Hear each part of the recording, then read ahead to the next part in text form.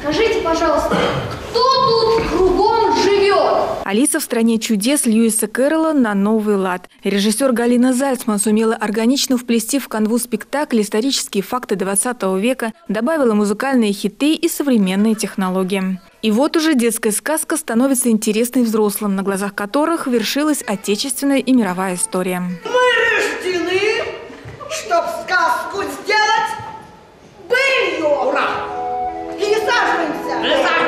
Мышь Сони в интерпретации режиссера внешне мало напоминает зверька из Алисы Льюиса Кэрролла. Ее школьная форма и лозунги советских времен заставляли зрителей постарше вспоминать свои детские и юношеские годы. Как отметила театральный критик и эксперт фестиваля премьеры сезона Оксана Кушляева, Алиса в постановке Саровского драматического театра напоминает слоеный пирог и будет интересно для зрителей любого возраста. Люди, которые там любят кино, увидят здесь одни смыслы. Люди, которые э, много смотрели там советских фильмов и, и там, не знаю, жили в Советском Союзе, они увидят другие смыслы. Ребенок тут увидит историю э, о родителях и о себе, да, и о том, как добра добраться до внимания родителей. На суд театральных критиков в рамках фестиваля премьеры сезона 2018-2019 наш театр представил две постановки – «Алису» и кукольный спектакль «Волшебное кольцо».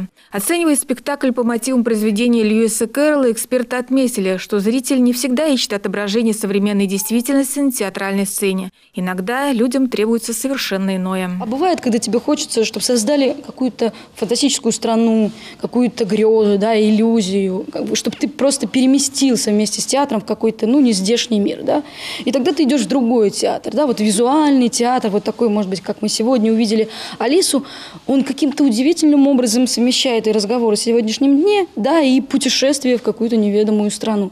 После просмотра постановок всех 13 театров-участников регионального фестиваля спектакль «Алиса» признан лучшим в двух номинациях. Премии «Творческая удача» получили режиссер спектакля Галина Зальцман и художник Екатерина Никисина. К тому же «Алиса» вошла в тройку лучших спектаклей фестиваля. Торжественная церемония награждения лауреатов приурочена к Международному дню театра и состоится 27 марта в Нижегородском доме актера. Елена Грицкова, Артемий Глазков, Сергей Рябов. Служба новостей Саров 24.